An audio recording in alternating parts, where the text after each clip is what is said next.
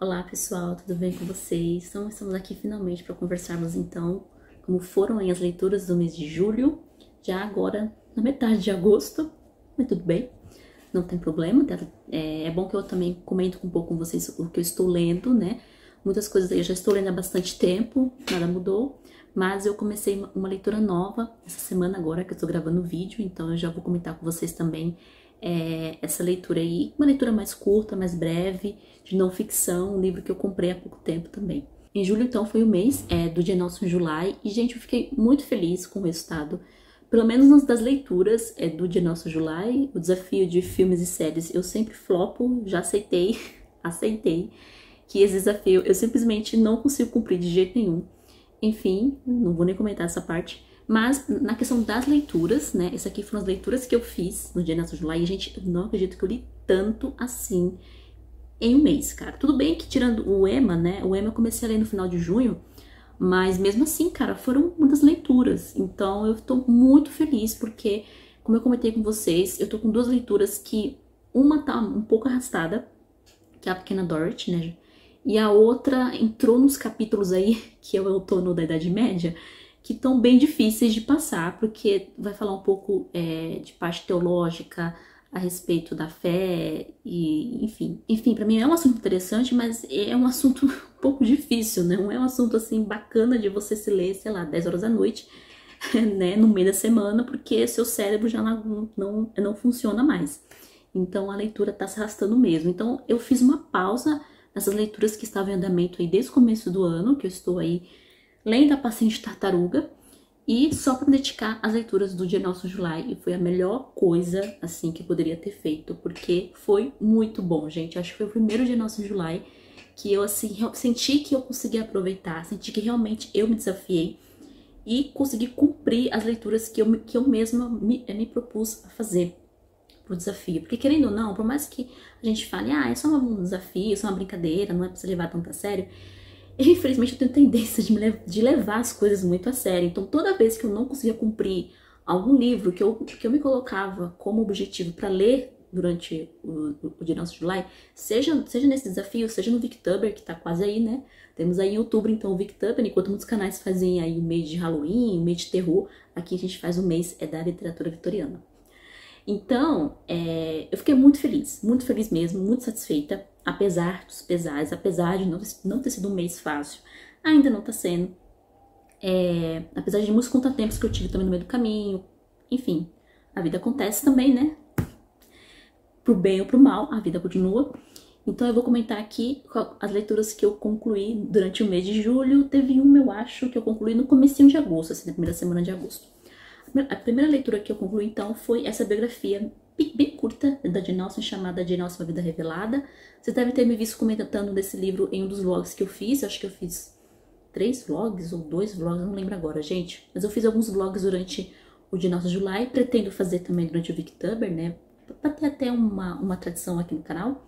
Vlog sempre nesses, nessa época do ano. Essa leitura aqui foi muito boa.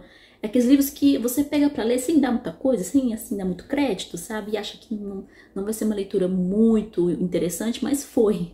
Né? Até porque o assunto também me interessa muito. É, é uma biografia escrita pela Catherine Heath, é uma das poucas biografias que nós temos em português da Jane Austen. E essa biografia aqui ela é bem resumida e foi escrita com a intenção de apresentar a Jane Austen para jovens leitores.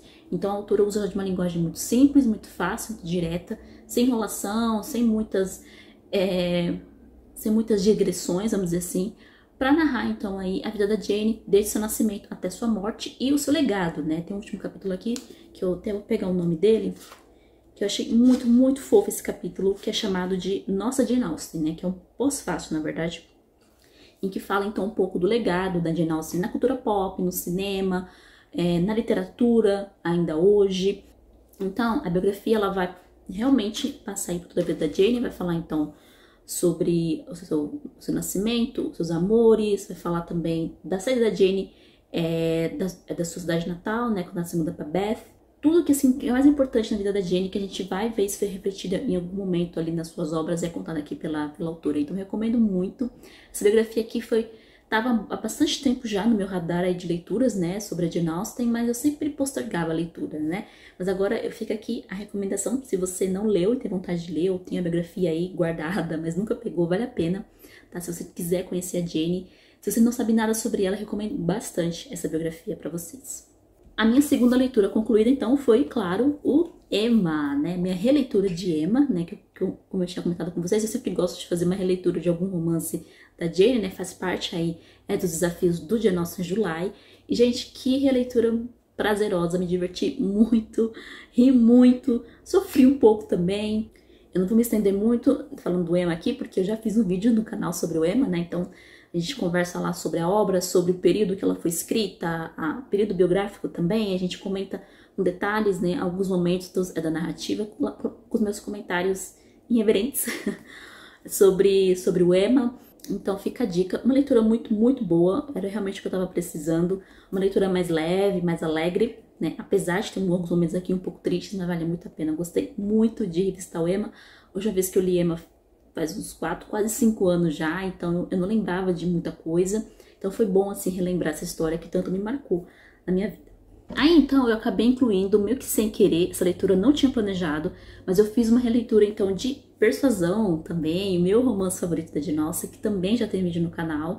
É um dos vídeos mais acessados aqui do canal, que me deixa muito feliz.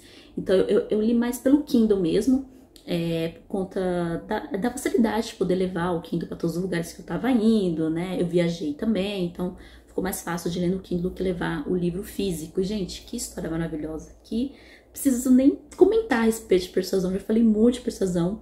No vlog também eu comentei sobre, sobre essa minha releitura de persuasão e foi assim maravilhoso revistar essa narrativa. Foi tão bom, até melhor do que o Emma, na minha opinião, assim, essa releitura, porque realmente a gente percebe a diferença de texto, né, de prosa aqui. Então aqui a gente tem uma Jane já nos 40 anos, já é, numa outra fase da vida, diferente do que ela estava quando ela escreveu Emma. Então é um romance mais melancólico, é um romance mais flexível, é um romance bonito, assim, em vários aspectos, tanto tecnicamente na questão da prosa da Jane, mas também quanto é, aos acontecimentos mesmo, principalmente na, na segunda parte.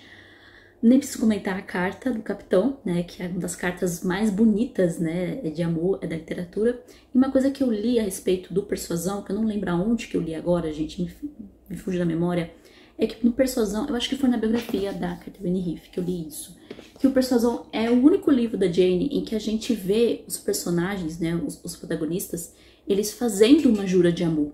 Assim, bem direta mesmo, porque nos outros casais, nos outros livros, Orgulho e Preconceito, no próprio poema também, é, no Mencio Park, enfim, nos outros romances da Jane, a gente não vê isso. Quando chega o momento que o casal é, vai trocar ali a jura de amor, a Jane, né, a narradora no caso, ela sai da história né? Ela se desloca da história. Então ela deixa ali aquele momento íntimo que a gente preenche esse momento, né? Que a gente imagine como é que foi essa reconciliação, essa jura de amor entre, entre os amantes. Aqui em Persuasão não. Aqui em Persuasão a gente tem a primeira e única vez em que a Jane descreve então a jura de amor. Então a gente tem aqui descrito o único romance da Jane, pelo menos até, até onde eu sei, tá? Em que as juras de amor do, do Capitão Wentworth foram escritas. Então nós leitores sabemos o que eles conversaram, ou pelo menos boa parte do que eles conversaram. Então, o momento é da confissão do capitão, o momento que ele pede perdão para Anne, que ele confessa que a ama, algo que a gente não vê nos outros casais, né? E eu lembro que quando eu li o Grupo Preconceito a primeira vez, e chegou finalmente a cena que o Darcy e a Lizzie é, finalmente começam então a conversar, e eu falo, é agora, é agora que eles vão falar eu te amo, e aí não, não rolou. A narração seguiu, né? A, a narradora, narrador simplesmente passou por esse momento, mas sem, mas sem, mas sem descrever o diálogo, sem descrever o que foi trocado entre eles. E aqui não, a gente tem esse momento descrito que eu achei muito, muito, o que eu sempre achei muito bacana, é uma coisa que eu nunca tinha reparado é, na Jane e que a Catarina Riff, na, na biografia dela, comenta a respeito disso, eu achei muito bacana. Então fica aqui a minha dica, se você não leu Persuasão ainda, aproveite e leia. E por fim, a minha última leitura então para o Jane Austen July foi Novelas Inacabadas, né, que foi o Watsons e o Sandton, né. Para quem não sabe, a Jane deixou dois romances incompletos. É, um foi escrito mais ou menos ali, é, por volta da época que ela se mudou para Bath, né, então ela, ela, tinha uns 20 e poucos anos, se eu não tô falhando aqui a memória. E o Sandstone, ela escreveu logo após o Persuasão, né? Ela começou a escrever o Rascunho de Sandstone, ela escreveu por volta de 12 capítulos, só que infelizmente ela acabou falecendo e não terminou. No caso dos Watsons, é, diz, há várias especulações, ninguém realmente chegou a uma conclusão, mas a especulação mais forte, que é a que eu creio que aconteceu, né, foi o motivo que a fez parar de escrever os Watsons, foi por conta da morte do pai dela, né? O, o Sr. Austen morreu pouco tempo, é, praticamente na mesma época em que ela estava escrevendo os Watsons. Se não me engano, eles já estavam em Bath nessa época, né? Já estavam se mudando para Bath. Ele falece e aí, bom, ela acabou é, deixando o manuscrito de lado e, se não me engano, foi escrever o Emma, né? E, e então a gente tem aqui nesse livro, né, os dois romances, os dois textos incompletos e o que é uma pena, porque eu gostei muito dos Watsons. Eu demorei um pouco assim para me engajar na leitura de Sandstone, então confesso para vocês, apesar de eu gostar da história, mas você sempre demora para engajar porque tem toda uma construção de cenário aqui, né, no Sandstone. E aí quando chega no capítulo que o, Sid, o Sidney Parker aparece, né, fala, bom, agora as coisas vão ficar interessantes. Mas aí o livro acaba, não tem final. Com os Watsons eu já me engajei mais com a história mais rápido né? Então eu já estava mais interessada ali no todo o drama da Emma Watson, essa, essa jovem, né, que volta é, para a casa dos seus pais. Ela morava com uma tia rica, a tia rica se casou, né? O marido da tia rica não queria mais que a sobrinha da esposa morasse com eles, né? Não explica direito exatamente o motivo aqui. Talvez elas, a Jenny deixaria para explicar mais para frente, mas infelizmente a gente não tem explicação. E ela volta é, pro seio da família, só que essa família dela é, a mãe tá morta, né? E o pai também já tá nas últimas ali, nos últimos dias de vida, pelo que a gente sabe. E, e a família dela tem muitos irmãos, e os irmãos, assim, são pessoas não muito difíceis, tiveram uma criação diferente da dela, enquanto que a Emma é mais refinada, aquela menina realmente da sociedade mesmo, que consegue conviver em alta sociedade, os irmãos não, são mais rudes, são mais grosseiros, e ela não se dá muito bem com eles, principalmente com a sua irmã mais velha, Margaret, né? Acho que é a irmã do meio, se não me engano, e parece que começa a ter uma rivalidade aqui entre elas. Além de que tem um rapaz aqui, Tom alguma coisa, que eu não lembro o nome agora, que tá ali rodeando é, essas moças e parece ser um tipo, uma espécie de, de Dom Juan também. É, aparece alguns personagens ricos, né, como Lord Osborne, e gente, eu não consigo não lembrar do Lord Osborne de Evelina, da Frances Burney. É, o Evelina não tem vídeo aqui no canal, só tem um texto lá no meu Instagram, vocês podem procurar lá, do, do, é 2019 que eu li o Evelina. E tem um Lord Osborne no Evelina. Eu falei, não, será que a Jenny pegou o nome emprestado, assim, pra fazer homenagem ao Lord Osborne do Evelina? Porque o Lord Osborne do Evelina, ele foi um dos moldes do Mr. Darcy, né? Caso vocês não saibam aí, a Jenny se inspirou também no, no Lord Osborne para fazer o o Mr. Darcy, não completamente inspirado nele, né? O Mr. Darcy é um pouco diferente do Lord Osborne, né? Bem diferente, vamos dizer assim. Mas o Lord Osborne, mas eu, quando eu vi o nome, falei, putz, será que é o mesmo? Porque ele realmente é um gentleman, né? Mas o Lord Osborne aqui da Jane não parece. Parece ser um gentleman, mas. Sabe, sabe quando você tem uma desconfiança ali? Que, tem alguma coisa errada? Porque ele anda com esse rapaz, esse tom, e esse tom não é. Não é um rapaz. Não, não é uma flor que se cheire, sabe?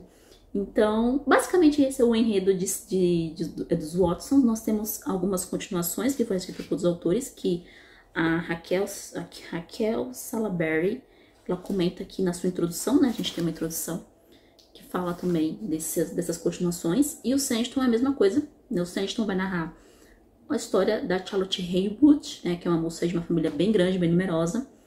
E seu pai faz amizade ali com um casal que mora nesse balneário de Sandstone, né? Que eles estão construindo junto com a Lady Benham, acho que é assim que fala o nome dela. E esse balneário eles querem fazer com que atraiam turistas, atraiam pessoas, atraiam ali gente com, né, com poder aquisitivo para poder é, transformar aquele balneário em um lugar turístico, né? E aí a Charlotte, a convite desse, desse casal, vai passar uma temporada com eles. Então ela acaba vendo todo esse entreveiro, né, do, do, casal, dos Parkers, né, no caso, para poder transformar esse balneário em um lugar é, lucrativo e turístico. É basicamente a história é essa, né? A gente não sabe muito bem o, o, o, que, o que acontece depois, porque os personagens estavam ali se apresentando, então quando a coisa começa a andar por certo caminho, a história acaba. Então a gente não vai saber, esse realmente o Sandstone, a gente não sabe realmente como termina, como vai acabar a história. Os Watsons também não, o que é uma pena, mas se você que é fã da Jane, acho que vale muito a pena você conhecer esses dois manuscritos inacabados da nossa autora favorita. do Dia Nosso July. Foram essas minhas leituras. Fiquei muito contente, muito contente mesmo com o resultado. E agora eu vou comentar com vocês o que eu estou lendo né, no momento, como é que tá as minhas leituras em andamento aí. Para começar, eu vou falar então do da Pequena Dorothy, né, que eu estou lendo aqui no Kindle há mil anos, gente. E assim, gente, eu achei que era só eu mas pelo visto, eu estava conversando com uma outra colega minha lá no, lá no meu, no meu é, perfil do Scooby, ela falou que também ela tinha tentado começar a ler a Pequena Dorothy e não conseguiu. Porque o livro se arrasta demais. Gente, nesse segundo volume, eu, eu admito que tá muito arrastado. Desde quando a Amy Dorothy foi lá pra, pra Itália, cara, a história não anda. Tô dando spoiler aqui, mas enfim, o spoiler, mas vocês não vão entender porque vocês não, não leram, né, Pequena Dorothy.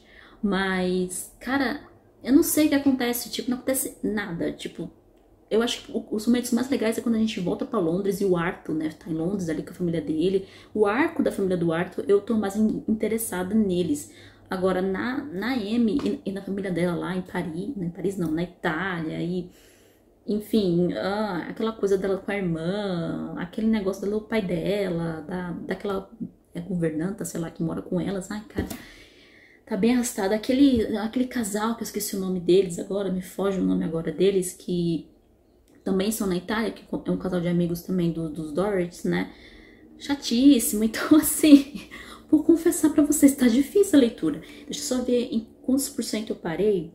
Eu tô, assim, chegando em 70% do, do, do romance, mas eu leio, quando eu pego pra ler, eu leio, é, eu leio e simplesmente não anda não anda a história, eu tô em 68%. Exatamente aqui, no meio do capítulo que eu parei de ler. É, mas a história não, não, está andando, está difícil, difícil é, andar com essa narrativa. Nossa Senhora, e eu queria muito terminar. E, e, gente, eu preciso terminar esse livro antes do Victuber, porque no Victuber eu quero ler é, um outro livro aí que eu já escolhi. Não vou falar ainda qual é. Mas é um, é um romance também, lógico, não tão extenso como a Pequena Dorothy, né? bem menor, um pouco menor, um pouquinho menor. Mas é um romance longo também. Então, assim, eu preciso terminar Pequena Dorothy até setembro. Até, sei lá, a última semana de setembro eu tenho que terminar esse livro, gente. Não dá mais pra ficar me arrastando nessa leitura. E a Dinkins, né? Faz parte do meu projeto Dinkins. É o livro favorito de muitos leitores que eu conheço. Então, assim, eu não sei o que tá acontecendo. Se o problema sou eu, ou seu livro, ou seus dois. Mas enfim, não tá fácil. Esse volume 2 não tá fácil. O volume 1 um tava bem mais interessante. São dois aqui, eu estou me arrastando mesmo. E aí, como eu falei para vocês, eu estou ainda seguindo na leitura do outono da Idade Média, né? Então, no capítulo aqui, gente, é chamado de O Realismo e o Sucumbir da Imaginação. E, gente, esse capítulo aqui tá, tá duro, tá duro de passar, porque é um capítulo um pouco mais teológico, então vai contar em um pouco das correntes teológicas que estavam ali ocorrendo na época, no final do século XVII, não, final do século XVI aqui. Acho que é 16 para 17, né? Porque basicamente é o final da Idade Média. Então, assim, assim, eu, eu entendo um pouco de teologia. Eu estudei, assim, um pouquinho de teologia, né? Mas, gente, não dá, cara. É muita fritação, então, entendeu? Então, tenho que ler e, tipo, ler de novo o parágrafo. Eu voltar, eu falava, meu Deus. E tinha hora que eu ficava, socorro, eu não estou entendendo o que eu tô lendo aqui, porque é, é como fala a Fernanda lá do, do Instagram, né, Fernanda Viana, é muita fritação, cara. E eu falo nesse sentido não muito positivo, porque eu não tô afim de ler tratado teológico, sinceramente, eu não estou afim, zero vontades. Mas eu também não quero pular esse capítulo, então deixa eu ver quantas páginas me faltam aqui. Falta pouca página, agora vai. Falta pouquinha página. Eu também parei a leitura do Outono é da Idade Média durante o, o nosso July, né? Umas três páginas eu termino, gente, mas foi Assim, não foi só esse capítulo, o anterior também, eu esqueci o nome dele, é, também era bem, bem é, estudos teológicos a respeito do que estava rolando na época. Deixa eu só. É, o simbolismo fenecido. É um capítulo muito, muito bom, mas também, assim, fritação de cabeça total. E aí o próximo parece já ser mais tranquilo, que é as formas de pensamento na vida prática, que é o capítulo 17. Eu estou acabando o livro, gente. Eu estou acabando o livro. Eu acho que se tudo der certo, se tudo der certo, se eu não procrastinar, se eu não ficar aí enrolando, pode ser que eu termine esses dois praticamente ao mesmo tempo, assim, na mesma época. Eu vou pôr essa meta, né, de terminar até a penúltima semana de setembro. Por quê? Porque na última semana eu já quero começar o livro do Vic Tuber, assim como eu fiz de Nossa July, para adiantar, para dar tempo de fazer o vídeo também, né? Aqui pro canal. Então assim, gente, vamos lá, força, força na peruca que vai. é só eu não ficar enrolando, né? Que é vergonha na cara também. E, e me esforçar, né, para ler esses dois livros aqui que já tá, ó. Eu tô falando deles aqui com vocês, ó, há meses, desde o começo do ano, né? Pois é. E aí, gente, eu comecei uma leitura essa semana que eu, esse livro eu comprei faz pouco tempo, eu acho que eu não mostrei no último book haul, porque eu comprei depois daquele book haul que eu gravei, né? Mas eu tava de olho nele há bastante tempo já na Amazon, e aí eu passei na livraria, é, acho que eu acabei mostrando no último vlog, né? E eu passei na livraria e trouxe esse livro. Eu comecei a ler, assim, deu vontade, eu tava já já estava querendo ler mesmo, e eu comecei então a ler o Encaixotando a Minha Biblioteca do Roberto Manguel, que é um escritor argentino. O, o livro se chama assim, Encaixotando a Minha Biblioteca, Uma Elegia e Dez Digressões, tá? É um livro bem curtinho e, gente, eu já tô apaixonada. Apaixonada. Eu tô na página 40 ainda. Nem. Até que li bastante, né? Quando, quando, quando eu peguei ele para ler, acho que na terça-feira. Hoje é quarta-feira, né? Eu tô gravando esse vídeo. Gente, que livro gostoso de ler é realmente uma, uma conversa de leitores. Então, até o momento, tô adorando exatamente aquilo que eu queria realmente é, ler, né? Um outro leitor, um leitor mais velho, um leitor mais experiente, conversando com você a respeito de livros, de bibliotecas, de, de conhecimento. É, tem um texto aqui, um momento, um momento da sua digressão, né? Que, no, que antes, entre os capítulos, ele faz uma digressão só sobre alguma coisa. E ele fala que uma coisa que, nossa, tão bonita, eu vou até achar aqui o capítulo, porque é muito lindo e eu fiquei realmente tocada com o que ele escreveu. Ele, ele comenta, né, na sua digressão aqui, que a interação com o outro ser humano é o que nos torna, então, também mais humanos ainda, né? Que o ser humano, ele, apesar dele ser um homem, dele ser uma criatura sozinha, ele precisa dessa interação. E é aí que ele fala, a busca pelos outros, enviando mensagens, falando pelo Skype, procurando parceiros para jogar, estabelece nossa própria identidade, é o que fala o Bart Manguel. Somos ou nos tornamos porque alguém reconhece nossa presença.